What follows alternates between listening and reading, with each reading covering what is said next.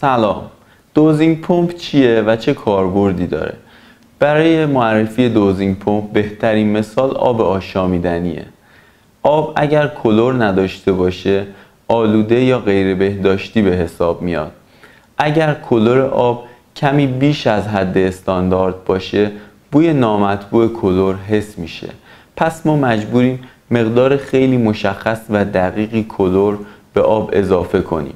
برای رسیدن به این دقت ما از دوزینگ پمپ یا پمپ تزریق مواد شیمیایی استفاده می کنیم این پمپ کارش اینه که مقدار خیلی دقیقی ماده شیمیایی رو به آب یا به سیال دیگه اضافه کنه.